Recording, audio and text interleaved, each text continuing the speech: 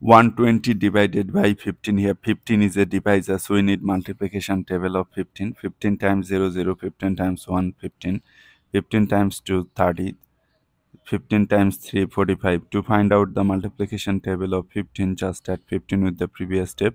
0 plus 15 15 15 plus 15 30 30 plus 15 45 45 plus 15 60 this process will continue.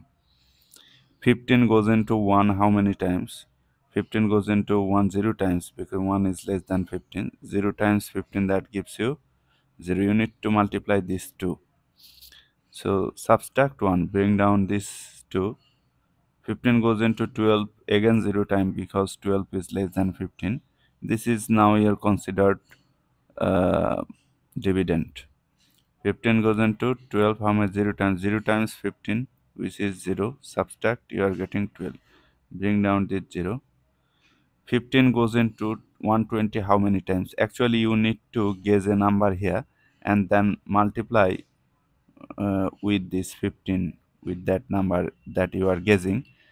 And the multiplication of your guessing number and your divisor should be less than 120 let me uh, use this multiplication table 120 so 120 15 times 8 that gives you 120